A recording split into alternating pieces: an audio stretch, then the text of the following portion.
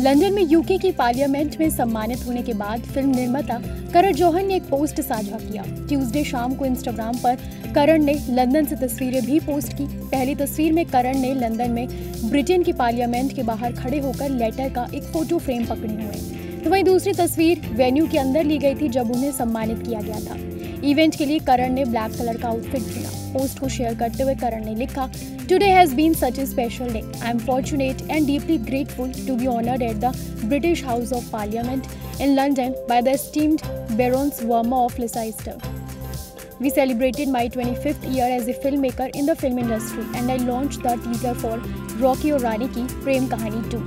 उन्होंने लिखना जारी रखा It's one of those days where I pinch myself and realize that dreams do come true. Thank you everyone for the unbashed love you have shown me in my journey and I promise you there is more to come.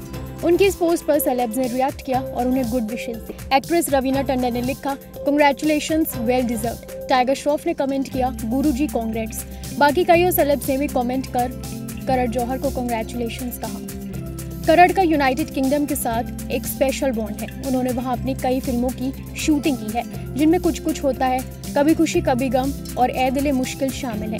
करड़ जिन्होंने 1998 में blockbuster कुछ कुछ होता है के साथ direction की शुरुआत की थी, सात साल के अंतराल के बाद डायरेक्टर की कुर्सी पर लौट रहे हैं। वो रॉकी और रानी की प्रेम कहानी के लिए पूरी तरह से तैयार हैं, जो 28 जुलाई को रिलीज़ होगी। फ़िल्म में धर्मेंद्र शबाना आजमी जया बच्चन, आलिया भट्ट और रणवीर सिंह शामिल हैं।